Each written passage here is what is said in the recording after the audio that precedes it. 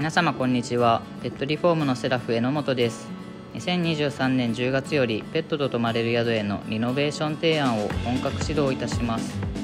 ペット関連の資格を持つ社員と設計チームが共同で施工イメージが伝わる 3D パースやリノベーション案を作成することでお客様宿泊される方ともにご安心ご満足いただけるお部屋を目指します。これまでにキャットステップ施工などのペットリフォームのご提案や施工実績も数多くございますのでぜひ当社にお任せください。